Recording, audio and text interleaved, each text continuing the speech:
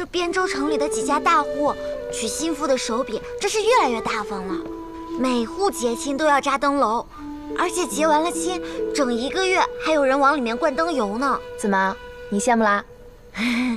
那可不是，我呀可没有小姐那样的志气，整日跑东跑西的多没意思呀。我觉得吧，找户好人家嫁了才是正事。我不这么觉得，我觉得不管是男子还是女子，都应该把命运掌握在自己手里。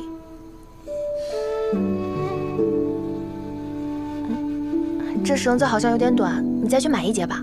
哦，好。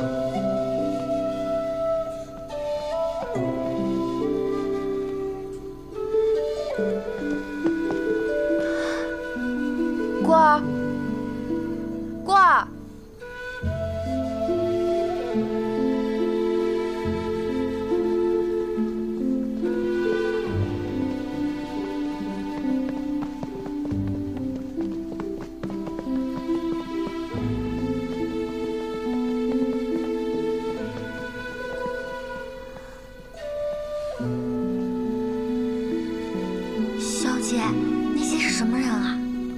不知道，应该是在找人吧。他们没有冲撞你吧？没。罐儿，今儿晚上好像不太平，我们逛完如意绳，也赶紧回去吧。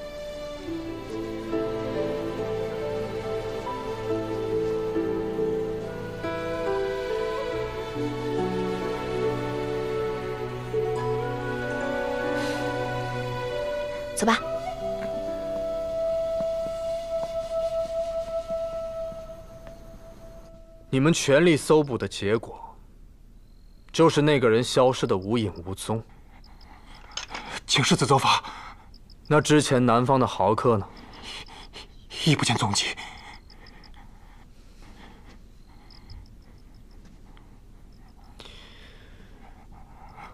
所以，我之前提醒你们查的人，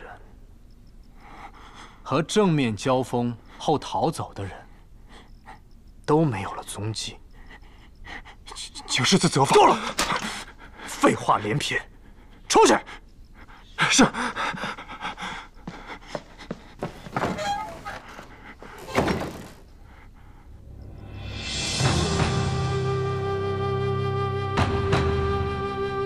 不出您所料，确实出现了一批抢夺砚台的人。如今真假难辨，但尚在计划中，无畏会随机应变，请陛下静候佳音。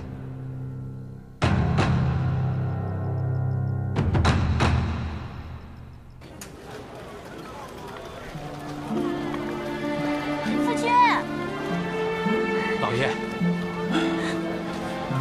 你别这样，我已经没事了。你是主母，我不在，你要主事的。荼蘼呢？哦，我觉得她毕竟是个未出阁的姑娘，还是在家里等你比较合适。如果你早点想到这一层，这几日荼蘼就不会这样东奔西走了。那丫头一向比较聪明，我又愚笨，她也不太听我的，而且对我似乎也有些误会。啊，归根结底，还是我没用。呃，老爷，吉人自有天相，加上咱们小姐明理果断，这不是化险为夷了？也是，我得好好谢谢荼蘼才是。现在全汴州都知道咱们家小姐有本事。啊，老爷夫人，咱们快上车回家吧，小姐都等急了。夫君，我们走吧。啊，好，走。小姐，小姐，老爷回来了。差点忘了，给爹去去晦气。是。荼蘼，爹回来了。爹，爹，等一下。怎么了？花儿，放这儿，小心啊。嗯。爹，夸了火盆，小人进厨，红红火火。好。走吧。走，荼蘼啊，这几日你里外奔波，委屈你了。爹，这是哪儿的话？为了爹上刀山下火海，我都愿意。我这女儿真乖。怎么了？哎呀，我们还是先进屋再说吧。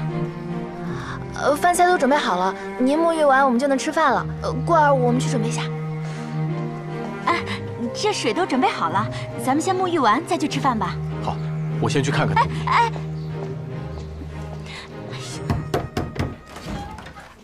爹，图米，你这背是怎么了？让亲家老夫人给打的。什么意思？岂有此理！闯到我家，伤我女儿！我……哎，爹，其实已经没什么事了。哎呀，就是过儿心直口快，说了一些老夫人不爱听的话，然后他们就要动手。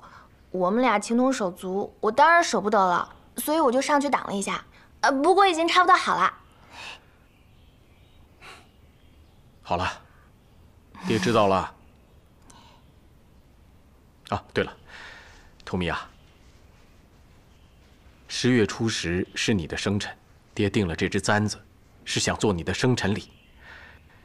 县令大人今日堂审时，把偷我东西的那个小偷给抓回来了，簪子现在还给了我。如果你不嫌弃他沾了这个案子的晦气，就收下吧，就当是我替他给你道歉，好不好？那我就不客气了。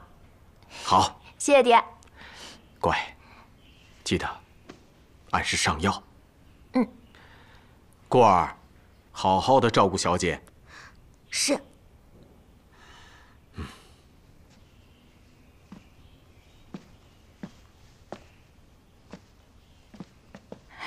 夫君，这水已经备好了，要不然您先沐浴吧。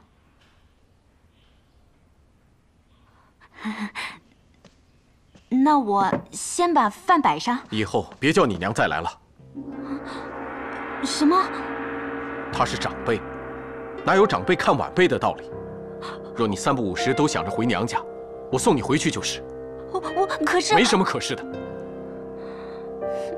想当年，我娘不愿意让我嫁过来做田房当后母，念在我一片痴心，才委委屈屈答应了。如今你让我跟娘家断了关系，这……当年的事，休要再提。若你娘再来，你就跟她一起回去吧。哎，夫君，真是……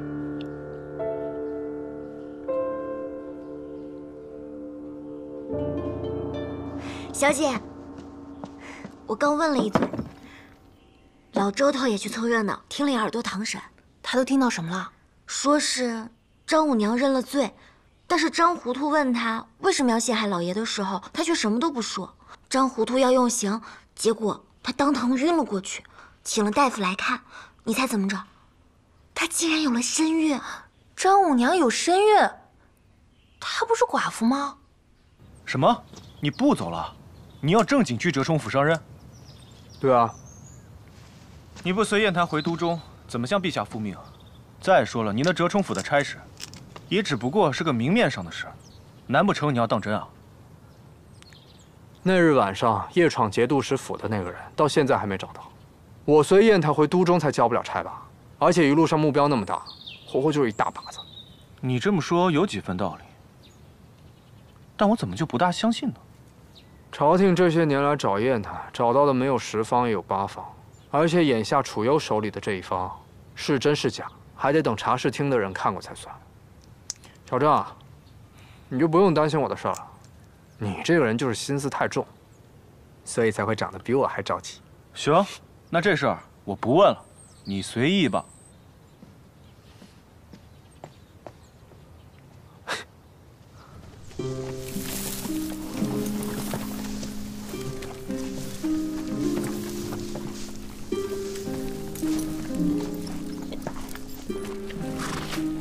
左使连夜出城。脚程要是快些，眼下约摸到并州了。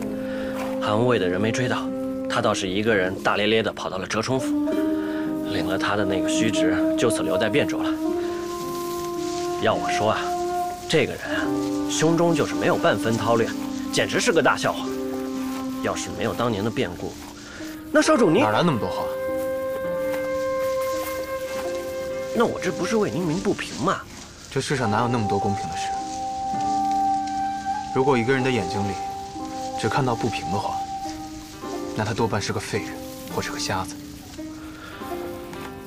楚游手里的砚台，既然是个赝品，那砚台的线索就断在了汴州，此番韩无畏也留在汴州，日后肯定还有交手的时候。最近先别回临水楼了，安安心心找找砚台的线索，静观其变。是。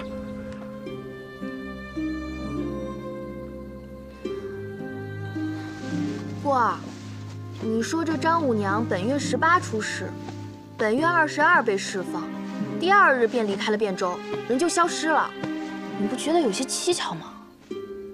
不查清楚她的动机，我总觉得心里不踏实。哎呀，小姐，你就别胡思乱想了，早点歇息吧。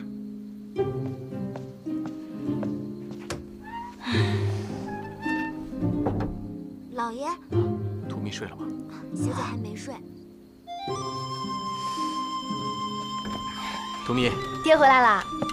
嗯，爹找我有什么事吗？没什么，就看你房间灯还亮着，想着你还没睡。那爹可吃过晚饭？刚吃过。那以后别这么晚了，身子要紧。爹呀，今日去了折冲府点道，本想还能早点回，不过眼下对正的位置空了出来，新的对正还没选出，这事本就纷杂。再说，本府最近也新上任了一位都尉韩大人，听说了我的事，还特意派人来慰问了一趟，这才绊住了脚。嗯，没想到都尉大人这么体恤啊。嗯，其实除了韩大人，汴州最近也来了一位大人物，代天子巡视天下的大理寺丞康正元大人。这一下，咱们汴州还成香饽饽啦。估摸他们来，汴州总要动一动，以后就有的忙了。对了，图密。爹明日无事，要不咱俩出去吃顿好吃的？听爹的意思，我又能尝到方娘子的拿手好菜啦！一两银子一盏芙蓉鱼汤，机不可失。师傅再来。我就不应该信了你的鬼话。什么鬼话？你不肯随砚台回都中，哪里是为了路上稳妥？你分明就是还惦记春家那个小丫头。我劝你一句啊。虽说春家是这临水楼的房东，春大山蒙冤，方娘子也派了伙计来帮忙，但是你期望在这里偶遇，你还不如守在春家墙根底下呢。敢不敢打赌？我今日一定能碰到春土迷。若是我赢了，你以后就尊称我为先生。赌就赌。吁，到了。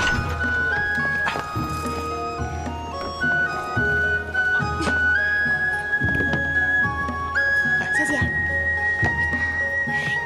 好香啊！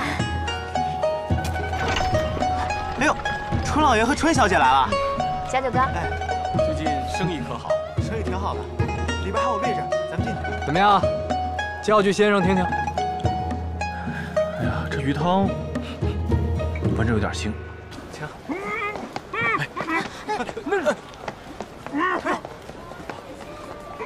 哎呦！您这是怎么了？怎么了？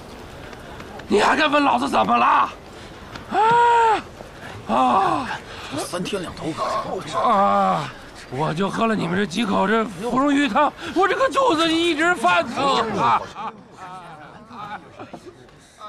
我说你们这临水楼菜到底是怎么做的呀？啊，是不是不干净？要不您先进去喝口热水？您看您是不是早上吃了什么不合适的？又或者您刚才走路走得急了？您先进去歇歇。不行。不行，小的给您叫个大夫过来。你什么意思？老子身体一直好好的，好吗？就是因为吃了你们临水楼这这几口鱼汤，现在变成这个样子。你说话不算数。去，您看看，把你们老板方娘子给我叫出来，让他来见我。我告诉你啊，极兽有毒吃食是犯法的。今日临水楼必须要给我交代，否则老子就跟你们临水楼没完！滚滚滚！老爷，小姐，这个人叫赵老七，是这条街有名的小混混。定是来讹钱的。既然方娘子是开门做生意，自然是有她的方法，咱们就别贸然插手了。小九，报官吧。反正无凭无据，难不成毁谤他人就不是犯法的不成？方娘子虽然这牙尖嘴利，但也不能把黑的说成白的吧？我就是吃了你们临水楼的鱼汤，他就一直吐啊！你看看啊，哎，吐的东西都在那儿呢。现在这物证人证都在，你还有什么好说的啊？这位客官，本店的芙蓉鱼汤是镇店之宝，光顾过小店的客官们都知道，临水楼的芙蓉鱼汤一日只做十盏。嗯好巧不巧，别人都没问题，就你有事儿。这这这别人没事，不代表我的事儿跟你没关系吧？啊，万一就是你们给我端的那碗有问题呢？报官吧，小九，你陪着。哎，好。临水楼继续做生意，大家请。哎，老板娘，哎，老板娘，别动，别动，不好了，别动，别。里面好几位客人肚子剧痛，吐了满地啊。就得讲理，没错。嘿嘿，哎，各位客官，来过来看看啊，来看看，看看，看看。现在不止我一个人，里面人都出问题了啊！知道为什么吗？就是因为这临水楼的菜啊，它它有毒。方娘子，这回你没什么好说的了吧？别人也出问题了，不是方子啊？是啊。顾儿，先陪小姐去对面铺子坐坐。去，小姐走，去。奇怪，这人确实奇怪，胃那么难受还要跑出来吐。要是别人，大约忍不住就地吐了吧。各位，请听我说句公道话。临水楼在这里做生意，不是一日两日的事。方娘子，她的人品如何，相信不用我说，大家都清楚。可是今日这事，父老乡亲们可都看见了。难道是我诬赖他，我自己给我自己下毒？啊！好，好。既然你说身子不舒服，要不找个大夫来看一看。到时候究竟有什么问题，就一目了然了。至于其他客人有身子不舒服的，我们尽快把他们安顿好，请大夫一并诊治。有你什么事儿啊？你处处护着他。啊，难不成你们俩有什么奸情吧？你你给我听清楚，你自己干过什么，你心知肚明。你要再这么闹下去，若真的惊动了衙门，后果会怎样？你可要想想清楚。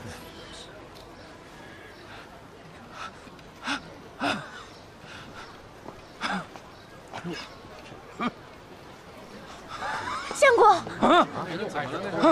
相公，要不就算了吧。去你干嘛呢？我都快死了，你不出来？看我回家，看我回家不打！还打？赵老七，你怎么了？啊？你怎么了？你？赵老七，你怎么了？这是？啊？相公。赵老七，赵老七。相公。相公，你怎么了？这这死人了！临水楼，醒醒啊！喝死人了！出人命了！走吧，咱们去看看。今日这里出了命案，少不得要各位配合衙门调查，暂时不要离开。各位，衙门的人来之前，有哪位擅自离开？只怕事情说不清。小姐别看了，麻烦你带赵氏娘子进去。小点声。二掌柜，起来吧。你去带着店里的其他人封上前后门，别让人出入。好，而且盯着赵老七吐出的东西，别让人碰。好，小九，哎，赶紧去衙门报案。好，快。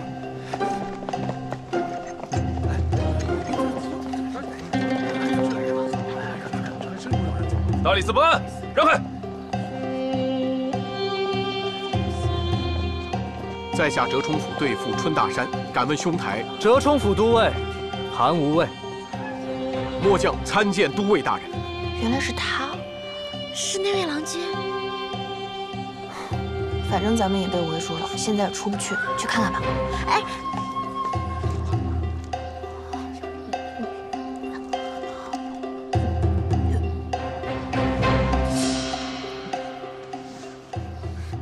第一次看见尸体就是这样，用这个吧。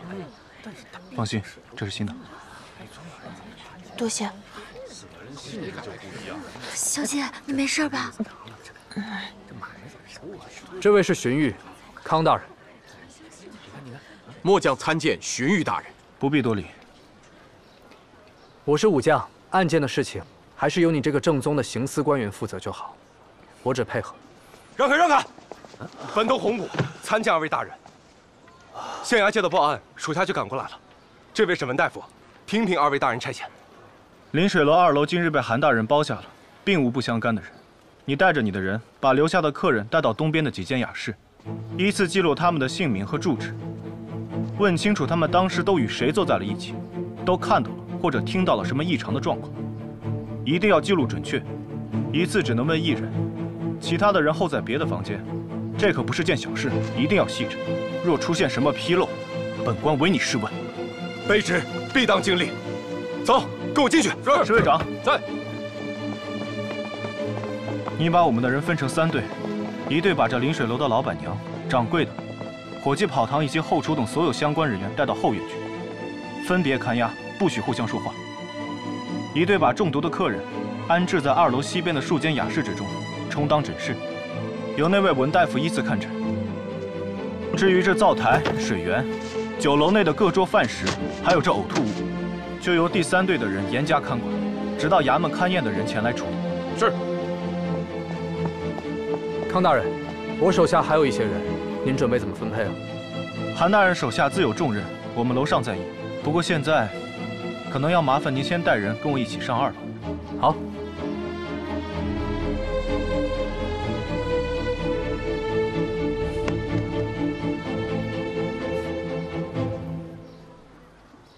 你过来，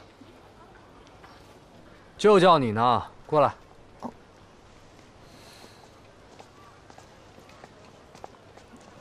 爹，图密，快见过都尉大人。参见都尉大人。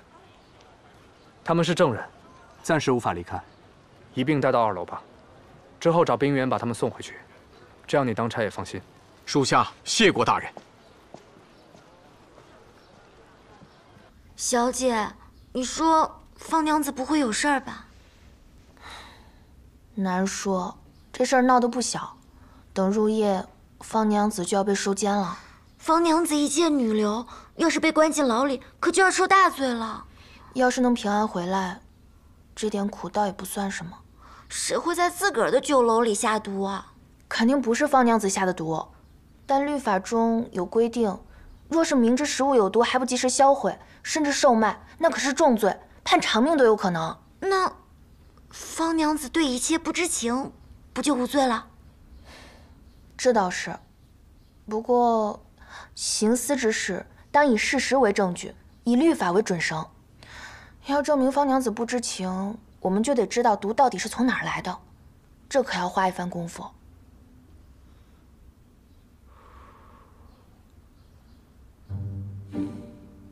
我那两队人已经按照您的吩咐，去街头巷尾打听消息了。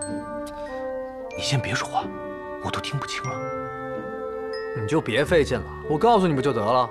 那丫头还是引用律法，觉得方娘子的案件是要找到方娘子不知情的证据，顺着这根绳往下滑。现在已经思考到毒究竟在哪儿的这一步了。抓得准。你不用压低声音，亏了你还修了点内功心法呢。那听着隔壁都费劲，何况还是个手无缚鸡之力的女子，听不见你说话。哎，我刚才听见，她想当讼师的事儿。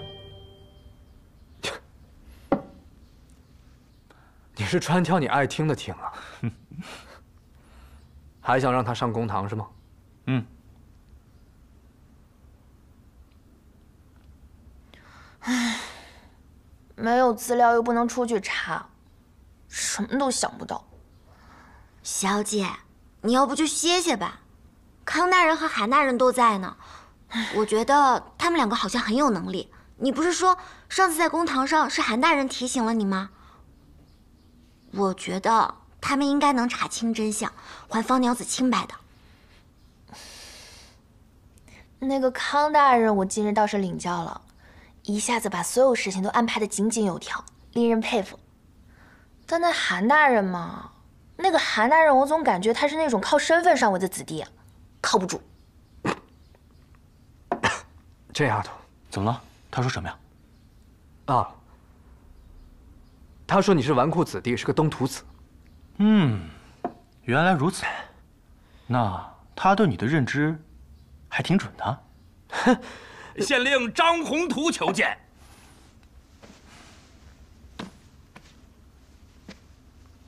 进来吧。下官参见康大人，参见韩大人。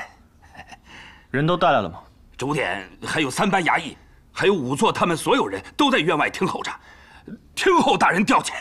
好，先叫人把死者抬回去，好生验尸，再叫人把呕吐物和有嫌疑的鱼汤一并带回。至于这临水楼，恐怕暂时是要封了，特别是厨房，一定要派人把守，不相关的人不得靠近半步。啊，对对，好是。康大人，瞧你把张大人给吓的。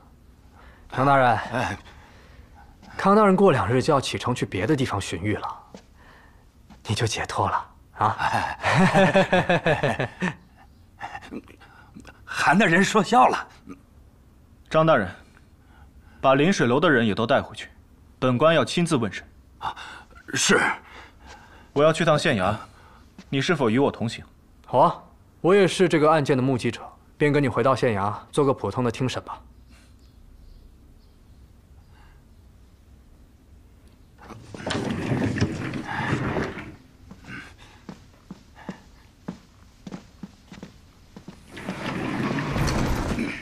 康大人和韩大人好像要走了，他们是不是要去堂审了？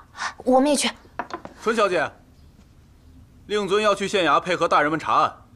特意托了我来送二位回去。爹倒是没把我忘了。现在去不成公堂了。夫君怎么那么久还没回来？刚才荼蘼不是说夫君只是目击证人，很快就能回家的吗？这我就不知道了。不过我刚才去大门口的时候，我看小姐在等呢。我过门前，那方娘子就勾着夫君。和荼蘼也是亲亲热热的，虽然我过门后围追堵截，断了夫君的心思，可他还租着春家的房子，来来往往的，真让人不舒服。这次临水楼碰上的可是命案，他肯定吃不了兜着走。哼，也是。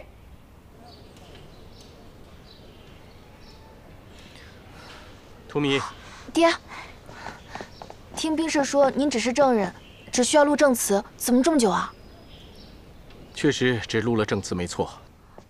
但韩大人也在，所以让我随他一起听完堂审再回。那堂审结果呢？方娘子怎么样？今日康大人只是把筛选出来的重要证人挨个盘查询问了一番，可文大夫确诊所有身体不适的顾客都有食物中毒。这种情况看来对方娘子确实不利，那就真的是台巴鱼中毒了，这下可糟了。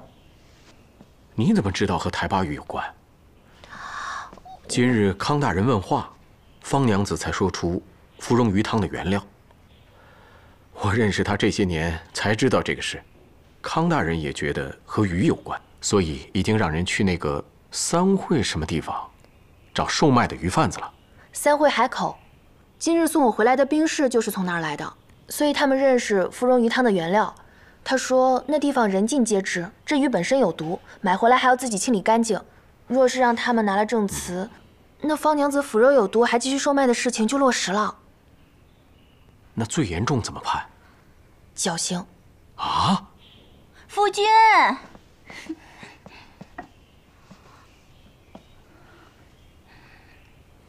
夫君，您为了别人的事儿四处奔走也就罢了，怎么回来了，还在这儿说话也不进屋啊？啊，一回来就碰到荼蘼，随便聊了几句。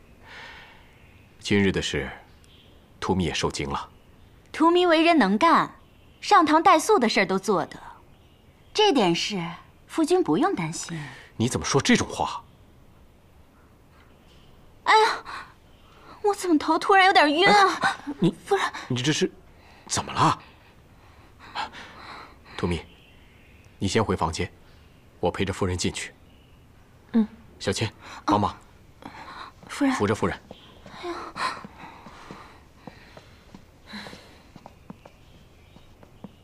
也不知是真的假的，这头疼病查不清道不明，真是好用。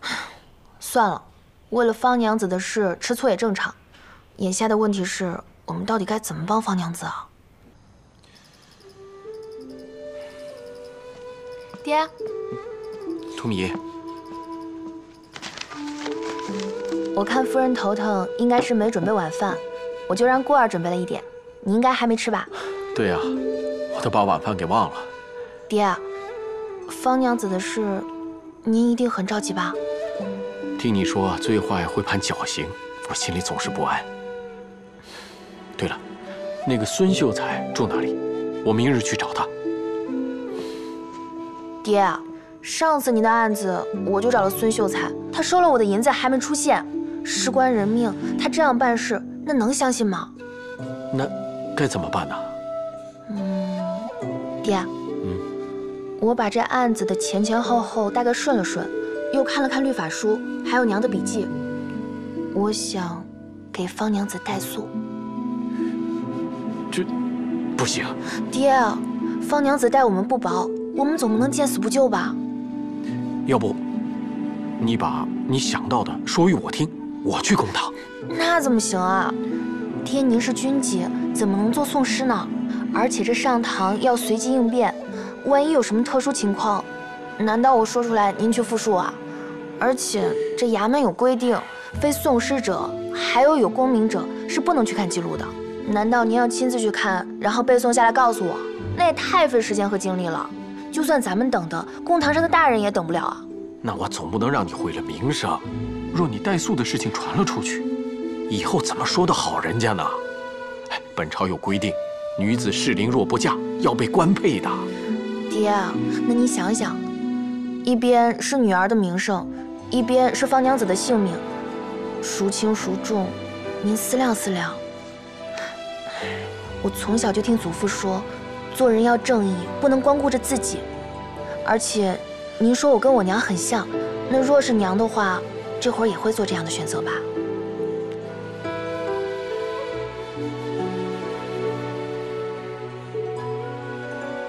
好吧，你就试试吧。那爹您吃饭吧。好。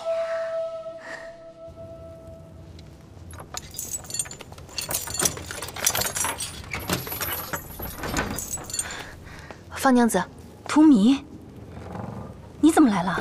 明日上堂，我替您代诉。您案子的卷宗我已经看了，还有些问题想问您。荼蘼，嗯，你的心意我领了，但是代诉这件事情，真的会影响到你的。我和我爹都不怕，您怕什么呀？再说了，我又不是为了您，我是为了我们春家的房子。您若是出不去，那谁给我房租？我拿什么买新衣服？拿什么陪嫁？你这张嘴啊！那咱们明日响应案子，还不是得靠我这张嘴？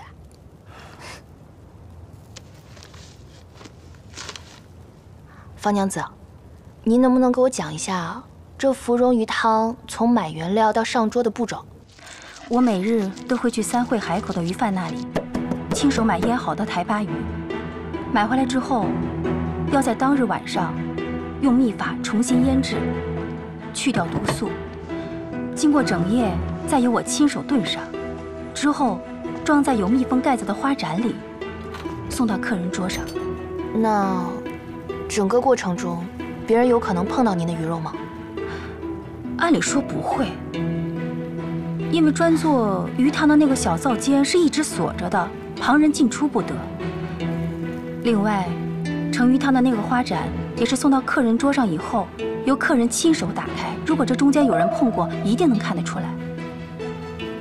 那就坏了，全程都是您一手包办，怎么都脱不了干系。可是我做了这么多年，那日也是和平时一模一样，不可能还留有毒素啊！